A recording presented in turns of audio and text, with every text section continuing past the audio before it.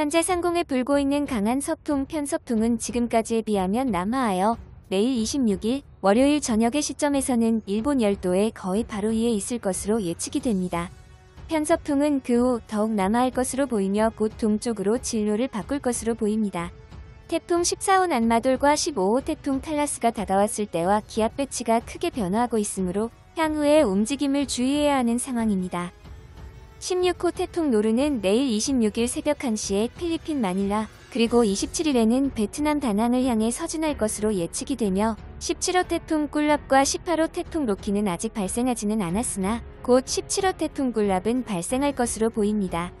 현재 미군 합동 태풍경보센터에서는 빨간색 서클로 태풍 발생을 경고하고 있으며 주변의 수온도를 보면 30도 전후로 높고 각국의 기상청의 슈퍼컴퓨터 시뮬레이션을 보면 17호 태풍 꿀랍으로 발달할 것으로 예측하고 있습니다.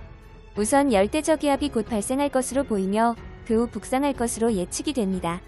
일본의 남해상은 상공의 고기압으로 덮여 있지만 자세한 세력을 보면 오키나와 부근과 일본의 훨씬 남동해상에 두 개로 나뉘어 있는 상황에서 열대저기압은 그 사이를 진행할 것으로 예측됩니다. 다시 정리하여 설명해드리면 며칠 전 괌 인근 해상의 순환장 형태로 발달하기 시작한 96호 열대요란이 지속 발달하면서 제17호 태풍 굴랍의 발생도 임박한 상황입니다. 현재 열대저기압 TD 등급 승격을 목전에 두고 있는 96호 열대요라는 북마리아나 제도 사이판 국제공항에서 북동쪽으로 약 130km가량 떨어진 해상이 인근 지점에 자리하고 있으며 중심 기압 1300헥토파스칼 중심 최대 풍속 시속 약 37km의 수준입니다. 미군 합동 태풍경보센터 JTWC를 보면 96호 열대요란에 대하여 주황색 서클에서 오늘 빨간색 서클로 수정 업데이트가 되었습니다. 곧 17호 태풍 꿀랍으로 발달할 것으로 보입니다. 빨간색 서클 표시가 된 96호 열대요라는 불과 하루 만에 JTWC에서 다시 TCFA 통보문이 발효되면서 향후 24시간 이내에 열대 저기압 TD 단계로 발달할 가능성이 높아진 것입니다.